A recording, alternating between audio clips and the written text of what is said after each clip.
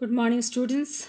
This is Sita Sharma ma'am here in front of you again with chapter 5 Community Services Part 2. Part 1 we have already done. Many, uh, I mean, in the month of near about April, June, and uh, after a long time, I'm releasing the second part children this much part uh, this all uh, was discussed how the in olden times community services were included how king ashoka uh, paid importance over the uh, community services by planting trees constructing rest houses and how water was for water many kings and emperors built uh, water uh, step wells kunds and uh, sisandras were common in Karnataka region and how water harvesting was much more important and it's not a old uh, uh, new technique i mean. It's an old technique which has still been continued in uh, all over the areas of the especially water scarcity areas. And i think this is not the thing that we should continue uh, uh, in uh, installing water harvesting in sc- water scarcity areas. Rather it should be installed in every house so that today the water uh, um, scarcity problem and second problem is flood which is very common could be uh, eradicated. The problem of such problems can be eradicated. Now coming moving on to the next part that is community services modern time. See here children we will learn how in modern times community services have changed a lot. With the due course of time community services requires organization coordination tolerance and instead of kings now the government and the agencies look after the community services this is very true बेटा पहले क्या था कि community services राजा महाराजा government संभालते थे क्योंकि उस वक्त वही राज करते थे बट अब राजा महाराजा नहीं है अब हमारे बीच में हैं गवर्नमेंट तो ये गवर्नमेंट हमारे आज के डेट के सारे जो टैक्स जो हम पे करते हैं उनके बदले जो हमारे लिए पार्क्स बनते हैं रोड्स बनते हैं और डिफरेंट डिफरेंट डिफरेंट मतलब सर्विसेज़ जो प्रोवाइड करने के लिए एसेंशियल सर्विसेज़ हैं जैसे गवर्नमेंट हॉस्पिटल्स हैं मार्केट्स हैं स्कूल्स हैं सैनिटाइजेशन फैसिलिटीज़ है। तो गवर्नमेंट जो हमको अभी दे रही है इन सब इसके बदौलत आई I मीन mean, जो हमारे पास ये सारी चीज़ें जो हैं, वो हमारे टैक्स की बदौलत है, जो हम पे करते हैं गवर्नमेंट को। तो पहले ज़माने में भी टैक्स दिया जाता था, ऐसा नहीं है। पहले ज़माने में राजा को अपना वन सिक्स शेयर या वन फोर शेयर, जिस राज्य का जैसा होता था वैसा राज्य राज्य को राज्य में टैक्स कलेक्ट किया जाता था ताकि राजा उन उनसे रोड्स वगैरह बनवाते थे। तो यही प्रथा अभी है लेकिन अब गवर्नमेंट संभाल रही है। सो so, ये सब जो कम्युनिटी सर्विसेज़ है बेटा इसको संभालने के लिए क्या होता है? हमको कुछ चीज़ें चाहिए होती है। रिक्वायर्स क्या रिक्वायर्स होता है? We require the organisation that means एक संस्था होनी चाहिए जो संभाले। एक कोऑर्डिनेशन होना चाहिए। कोऑर्डिनेशन मतलब जो जो संभाल रहा है, जो कर रहा है एंड टॉलरेंस मतलब ऑब्वियसली जब हम कोई ब्रिज बनाते हैं, जब हम रोड बनाते हैं तो कितनी दिक्कतें आती हैं आजू बाजू के लोगों को दिक्कत होती है ट्रैवलिंग में दिक्कत होती है, उसके साथ साथ काफ़ी डस्ट पार्टिकल्स वगैरह उड़ते हैं, समय लगता है तो ये सबको भी हम टॉलरेट करना पड़ेगा, क्योंकि ये सब काम इतने आसान नहीं है जो फटाफट हो जाए। तो गवर्नमेंट डिफरेंट एजेंसीज़ के मदद से, या तो वो टेंडर पास करके देती हैं, या वो खुद संभालती हैं। तो कम्युनिटी सर्विसेज़ आज भी एज अ होल हो रही है। Every neighbourhood requires essential services क्योंकि हर एरिया में वाटर एंड इलेक्ट्रिसिटी बहुत ज़रूरी है। हॉस्पिटल्स बहुत ज़रूरी है स्कूल्स रोड्स मार्केट सैनिटेशन ये सब बहुत ज़रूरी है। तो गवर्नमेंट चाहती है कि इन सब पे भी हम फोकस करें, इन सब पे भी हम ध्यान दें और ज़्यादा से ज़्यादा प्रॉब्लम्स ये छोटी छोटी प्रॉब्लम्स जो हमारे बीच में हैं, वो हम सॉल्व कर सकें। Here we are going to discuss the changes that have occurred in travelling आज हम डिस्कस करेंगे हमारे बीच में जो ट्रैवलिंग है जो ट्रैवलिंग है वाटर है ट्रीज़ है और ये जो मॉडरेट फैसिलिटीज़ है इन सब के साथ में हम मॉडर्न फैसिलिटीज़ के साथ अभी क्या मॉडर्न टाइम्स में चेंजेस आए हैं अंडरगॉन चेंजेस वो हम देखें। देखिए, यहाँ पे पहली लाइन इट्सल्फ बोल रही है travelling has undergone a great change in recent time तो ये ग्रेट चेंज का मतलब मैंने बताया था कि पहले ज़माने में लोग ट्रैवलिंग ही नहीं करते थे, है ना? डरते थे घर से बाहर निकलने से, क्योंकि डर इस बात का रहता था कि कहीं गुम ना हो जाए, क्योंकि रास्ता नहीं जानते रोड्स नहीं जानते थे, और उस वक्त मैप्स और ये सब का कोई आइडिया नहीं था। तो अब धीरे धीरे लोग चेंज हो रहे हैं। And today different need means of transports are available for and for the convenience of the people आजकल दो चीज़ें बहुत ख़ास बात है। एक तो हमारे बीच में आ, ये जो हमारे बीच में है सबसे पहली बात है कन्वीनियंस कन्वीनियंस का मतलब होता है कि बेटा ये जो हमारे बीच में कन्वीनियंस है ये वर्ड कन्वीनियंस जो मैं आपको बताना चाह रही हूँ कि ये जो कन्वीनियंस वर्ड से इट्सल्फ समझ में आता है कि हमारे बीच में जो सुविधा दी गई है सरकार ने हम लोगों को ट्रैवलिंग के लिए, या हम अपनी सुविधा से जो कहीं जा सकते हैं तो उसको ध्यान में रख कर ही आप ट्रैवलिंग करें। सपोज़ आपके पास टाइम अवेलेबल है तो आप आराम से जाइए। आपके पास टाइम अवेलेबल नहीं है तो फास्टेस्ट मीन्स पकड़िए। सो कन्वीनियंस इज़ सबसे बड़ा एक मुद्दा है, जो आप आज की डेट में लोग इस पर ट्रैवलिंग करते हैं। सेकंड है जो अवेलेबिलिटी यहाँ पे मैं आपको बता दे रही हूँ मीन्स ऑफ़ ट्रांसपोर्ट यही अवेलेबिलिटी है।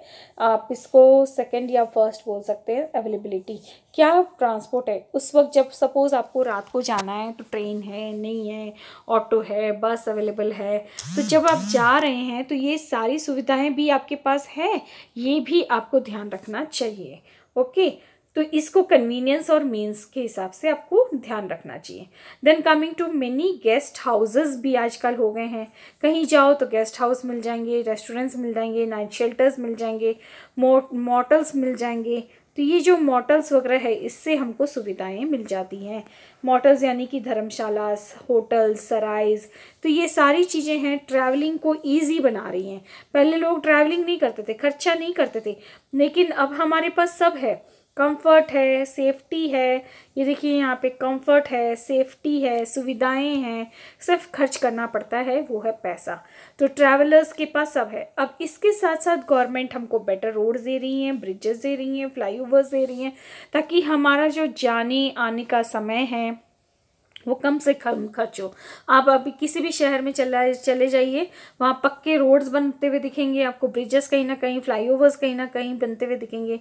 तो ये सब गवर्नमेंट ध्यान देती है, ताकि हमारा स्मूथ मूवमेंट हो सके, हमारा टाइम कम खर्च कर व्हीकल्स क्योंकि गवर्नमेंट भी मानती है कि रोड्स अच्छी होती है तो economically transport becomes means economically a country becomes much better so इसीलिए बैकबोन बोला जाता है transport of transport is a backbone of any economy.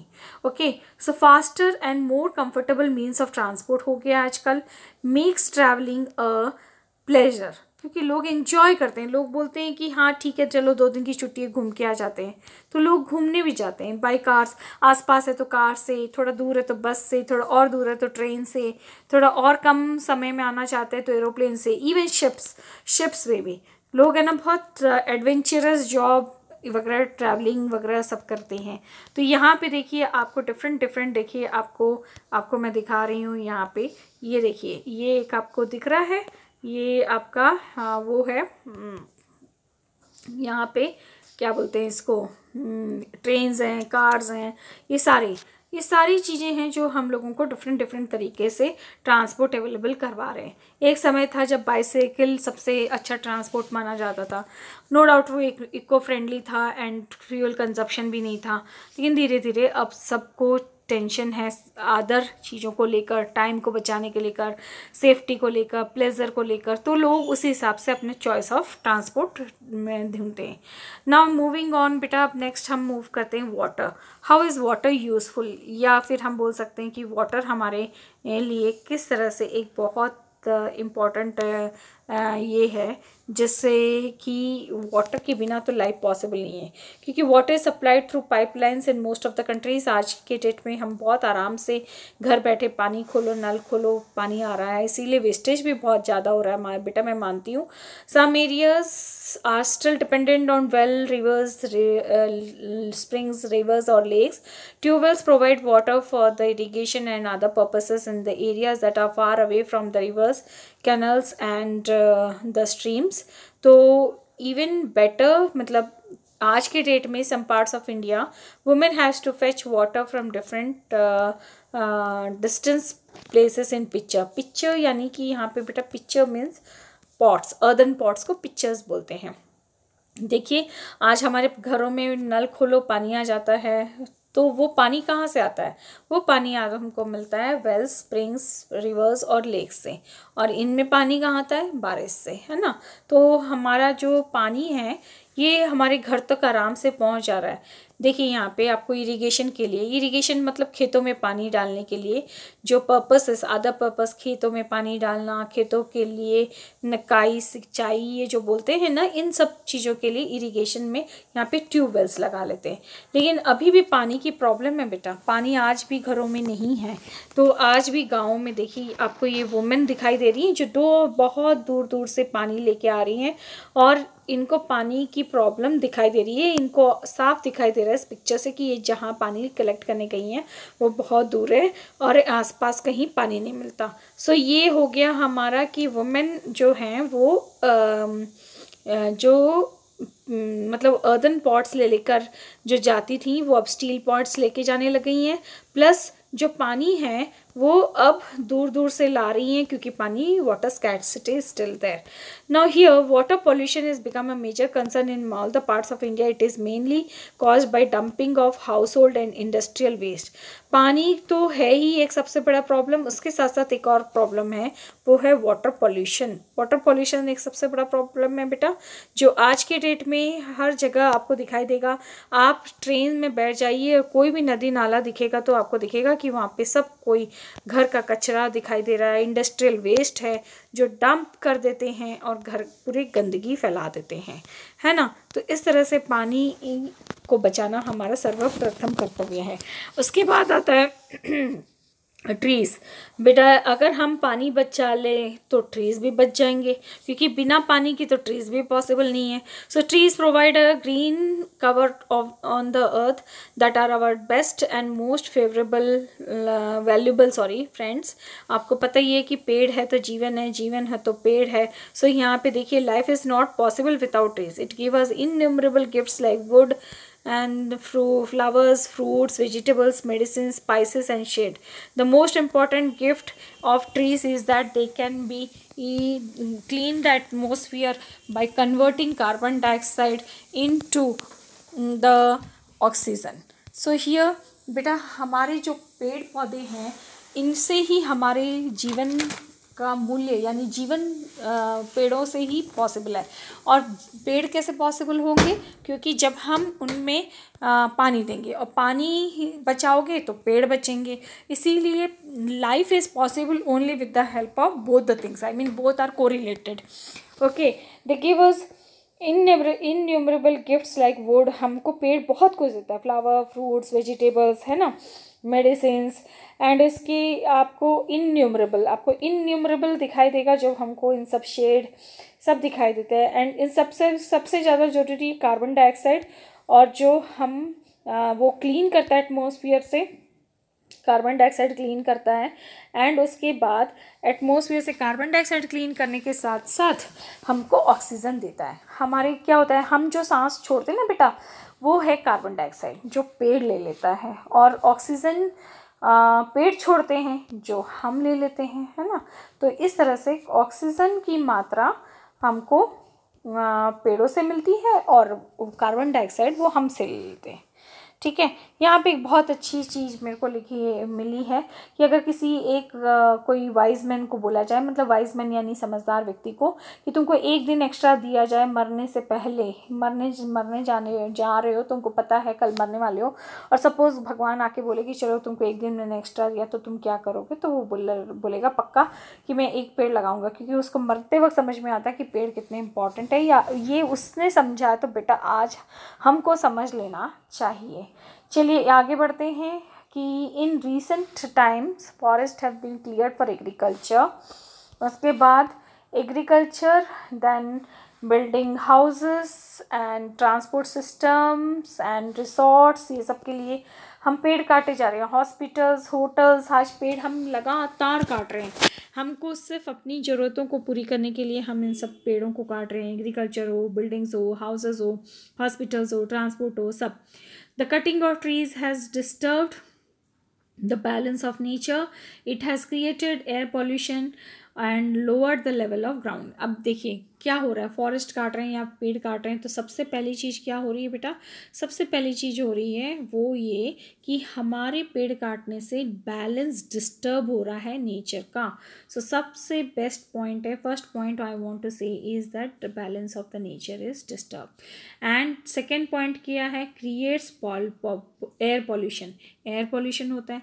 Third lower the level of underground water ये जो थर्ड लेवल है lower the underground water level वो मतलब पानी का जो ज़मीन का वाटर लेवल है, वो भी कम हो जाता है, जिसके कारण नंबर ऑफ़ स्पीसीज़ और जब फॉरेस्ट ही नहीं बचते बेटा तो number of species of animals and birds भी डिस्ट्रॉय हो जाते हैं, है ना? कि जो पेड़ पेड़ अब अब देख रहे होंगे कि लो लोग है ना घर इतना फैला लिए हैं, इतना कंक्रीट जंगल फैला लिए हैं कि जंगल तो बचे ही नहीं हैं। वो अब सिर्फ़ कंक्रीट जंगल बच गए हैं। मतलब कंक्रीट जंगल का मतलब होता है, आप छत पे से आप कभी देखेंगे तो आपको सिवाय छत छत छत कुछ नहीं दिखेगा। पेड़ तो दूर दूर तक नहीं दिखेंगे। तो जब पेड़ दिखेंगे ही नहीं तो ऑब्वियसली आपको गर्मी का लगेगी, लगी तो उस, वो जो पेड़ की जगह बिल्डिंग्स ही बिल्डिंग्स दिखती हैं वो बिल्डिंग्स किससे बनी होती हैं? वो कॉन्क्रीट यानी कि सीमेंट से बनी होती है, इसलिए उसको कॉन्क्रीट जंगल्स बोलते हैं। और इस कॉन्क्रीट जंगल से क्या हो रहा है? बेचारे animals and birds and plants की लाइफ बर्बाद हो जा रही है, इनके लिए जंगल नहीं है आपको पता है, अभी सब जगह बाढ़ आ रखी है। स्पेशली कांजीरंगा नेशनल पार्क में आए दिन बाढ़ आती है और आए दिन हज़ारों की तादाद में हिप्पोपोटामस और रेंडियर्स एंड जो हमारे आ, वो हैं वहाँ पे एलिफेंट्स हैं उन सबको बहुत दिक्कत हो रही है और वो बेचारे हर साल एक दो एक दो एक दो मर ही जाते हैं इस वाटर फ्लड्स के कारण स्पेशली फ्लड्स के कारण। Now the people are becoming aware of the importance of the saving natural resource like water forest and wild life अब जो लोग हैं धीरे धीरे समझदार हो गए हैं अवेयर हो गए हैं अवेयर मतलब जानकारी हो गए हैं बुक्स पढ़कर नॉलेज आकर। सेविंग नेचुरल एनवायरनमेंट को अब वो चाहते हैं कि हमारा ये वाटर है फॉरेस्ट है बिल्डिंग है, ये बचे।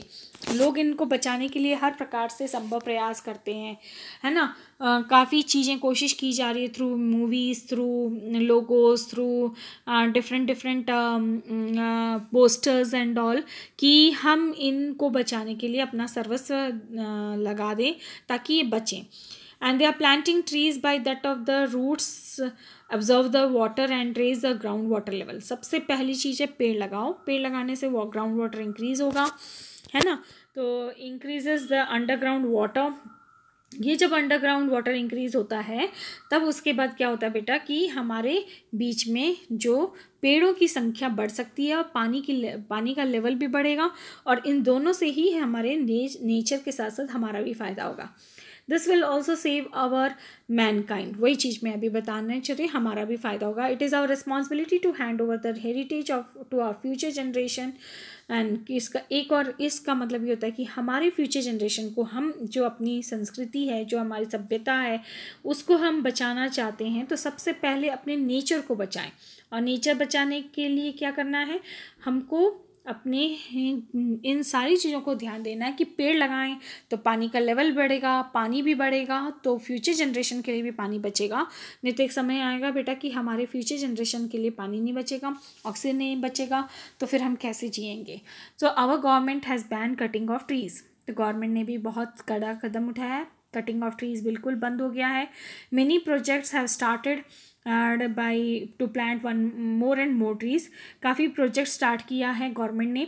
सबसे पहला प्रोजेक्ट है वन महोत्सव ईच वन प्लांट वन यानी कि एक व्यक्ति, एक पेड़ तो कम से कम वो लगाए। तो आप सोचिए, हमारी धरती पे कितने मिलियंस एंड मिलियंस ऑफ़ लोग हैं। अगर हर कोई एक पेड़ लगाएगा तो हमारी धरती कितने सुंदर हरी भरी हो जाएगी। और स्पेशली मैं तो ये बोलती हूँ कि हर बर्थडे पे एक पेड़ लगाना चाहिए। हाँ इससे क्या होगा? इससे हमारी धरती और हरी और हर, और हरी भरी और हर प्रकार से सुंदर हो जाएगी।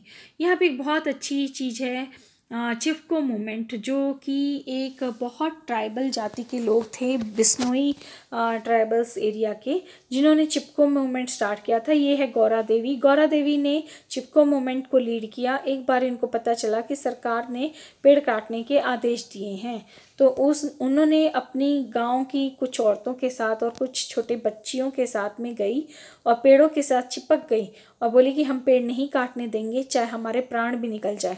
तो पता है एक एक कहानी भी ऐसी है कि एक राजा ने तो अपने आ, महल बनवाने के लिए लकड़ी चाहिए थी तो उस उन्होंने लकड़ियों को बिश्नोई ख़ानदान में ऐसा माना जाता है कि लकड़ियों के लिए उन्होंने काफ़ी लोगों के प्राण खा प्राण गंवाने पड़े।